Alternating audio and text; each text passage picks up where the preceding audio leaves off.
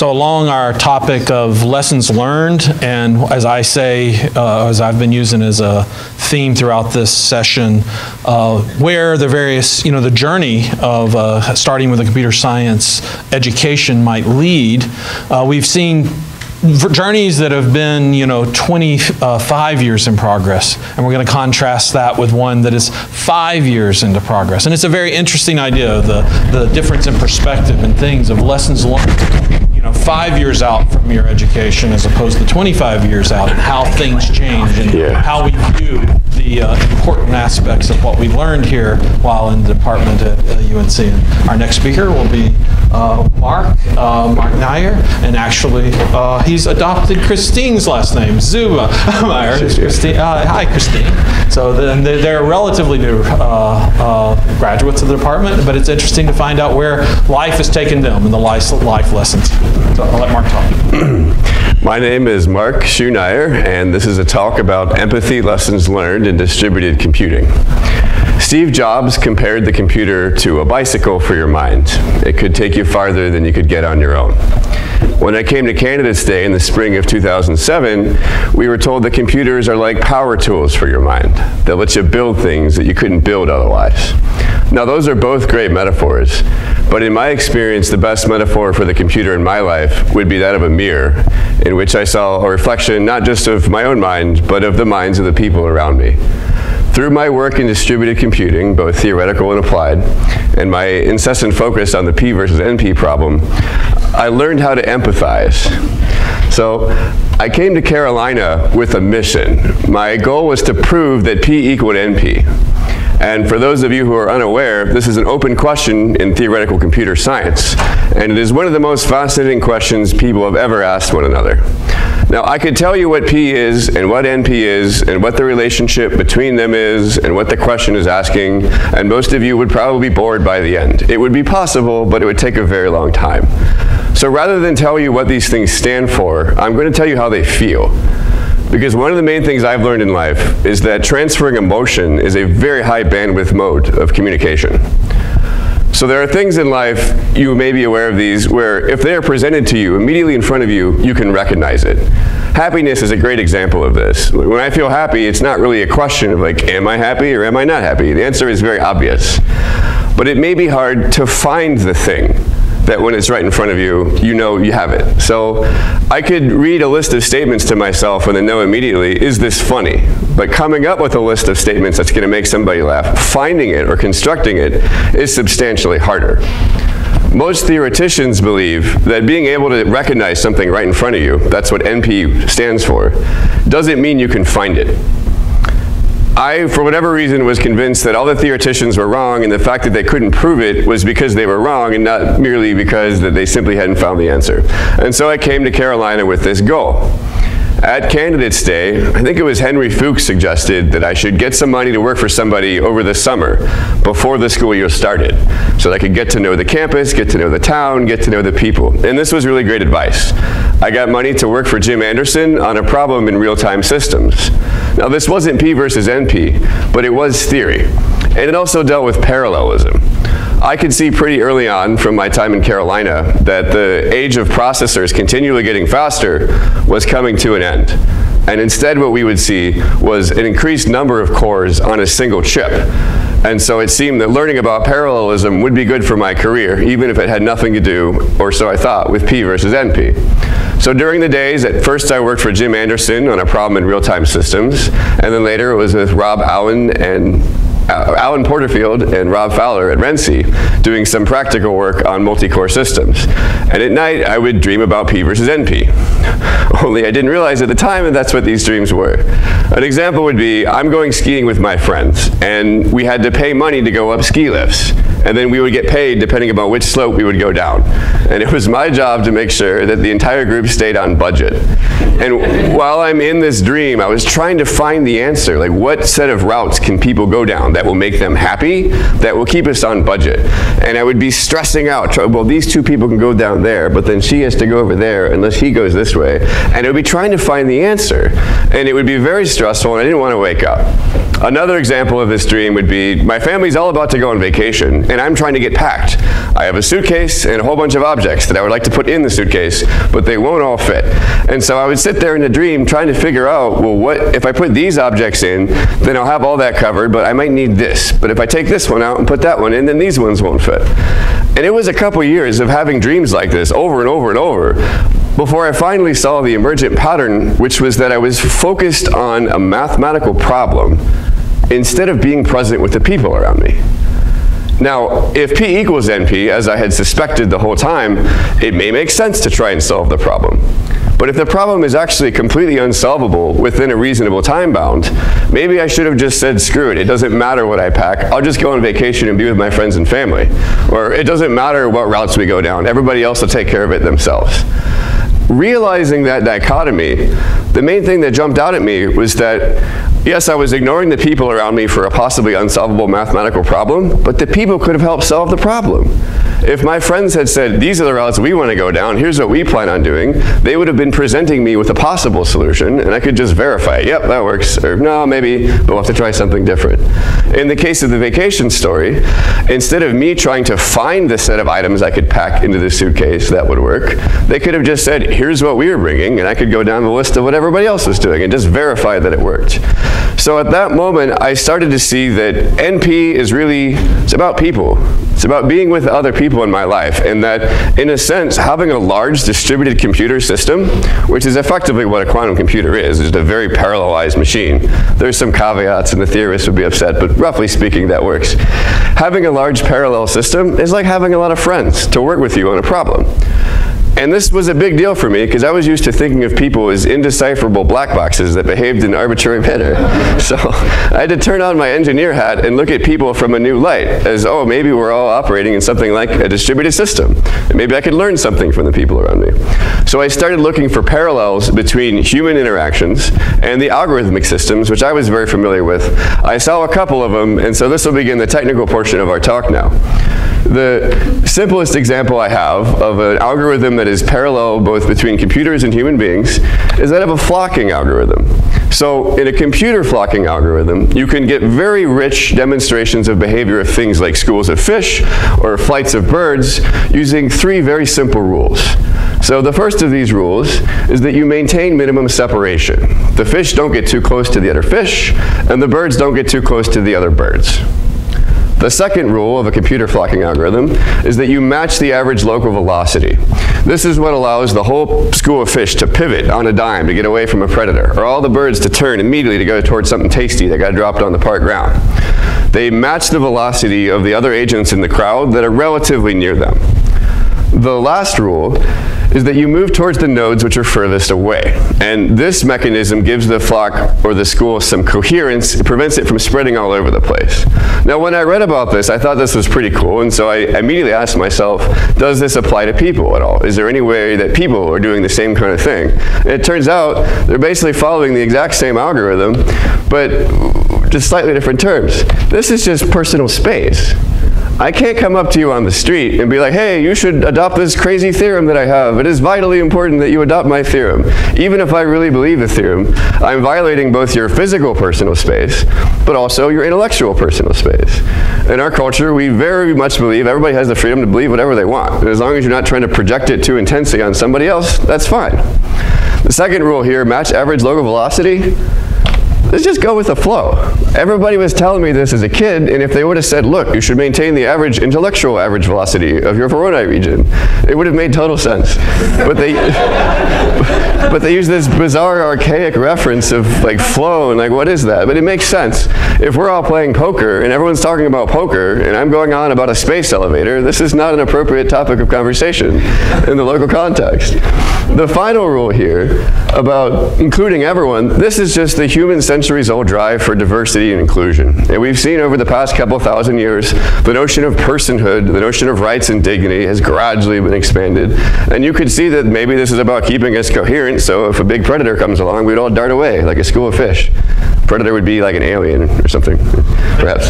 So another example here of the the, uh, the, parallel between human systems and parallel and distributed comp computational systems is that in distributed computing, we have this notion of the Byzantine agent. And a Byzantine agent is a node that is actively trying to work against the goals of the rest of the system. So if you have a distributed database, a Byzantine agent may be trying to corrupt the records of a database. You also have the notion of an agent which is faulty. It's not trying to corrupt a database, it's just not working right. And what I've noticed is that a lot of human systems, we actively look for and label agents either as Byzantine or faulty so we can ignore them. And if you look at all these three rules here, if you violate any of these, it no longer matters what hypothesis you're trying to advance on people, it gets rejected because you're not following the flocking algorithm. So if you deviate too far from the average local intellectual velocity where you are, and you try to sell people on some crazy advanced idea, even though it may be the right thing 300 years from now, it is not currently 300 years from now. It is always currently now. And this presents a problem for people. So let's, let's look at another famous distributed systems theorem. This is the Gandhi algorithm for social change.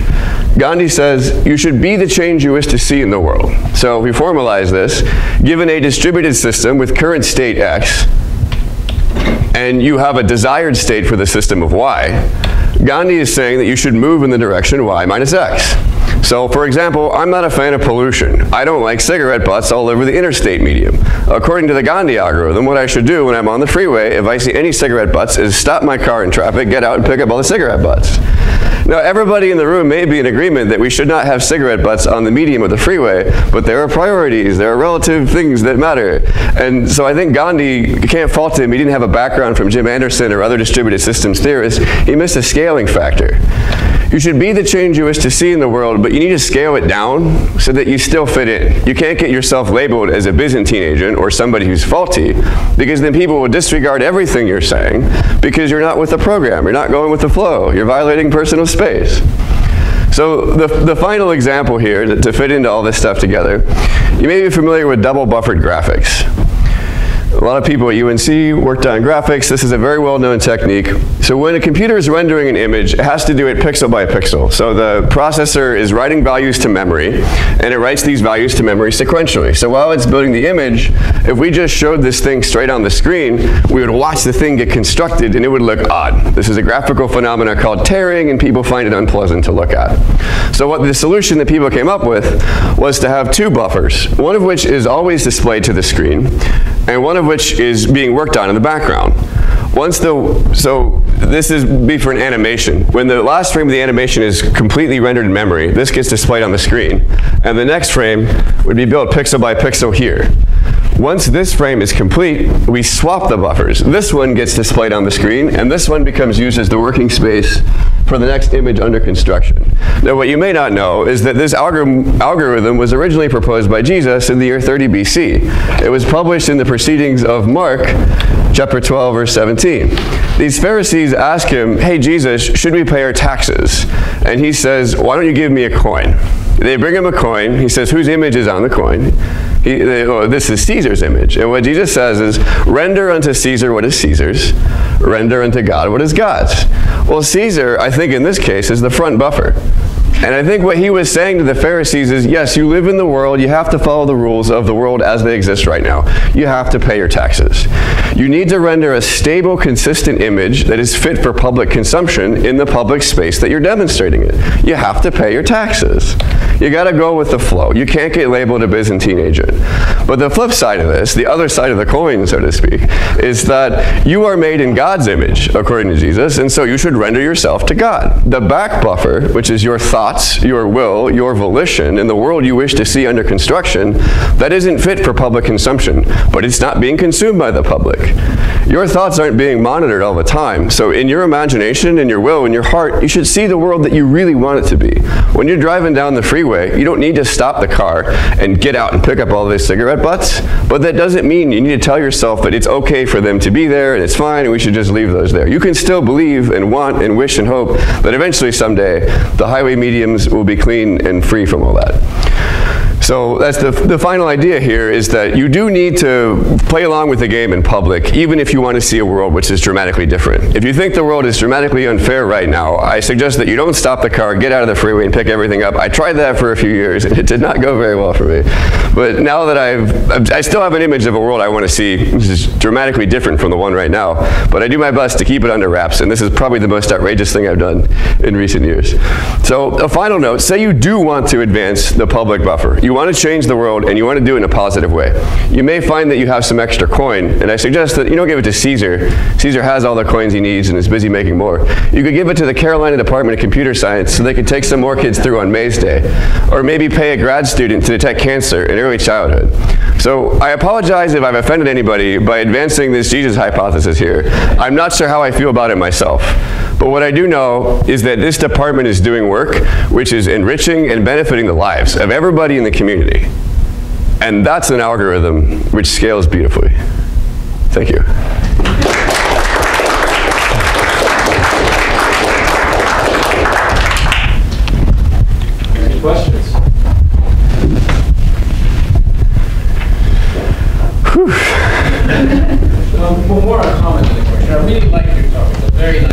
Thank you. I it's a, in the wrong audience. In some sense, this should be a talk for the young incoming students to know more about their life and how to structure their life. Kind of like the life lesson you learned in your I would be thrilled to come back and give such a talk.